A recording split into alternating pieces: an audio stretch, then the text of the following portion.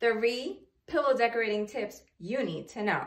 Number one, use multiple sizes. This is a 24 inch pillow. This is a 22 inch pillow. That's gonna add variety and interest to your design.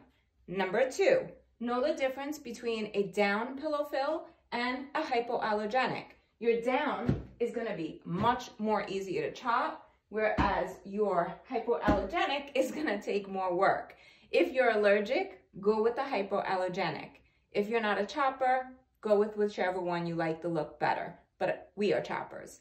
Number three, make sure that your pillow fill is two inches larger than your pillow cover. So for example, this is a 24 inch pillow cover. So our pillow fill is 26 inches.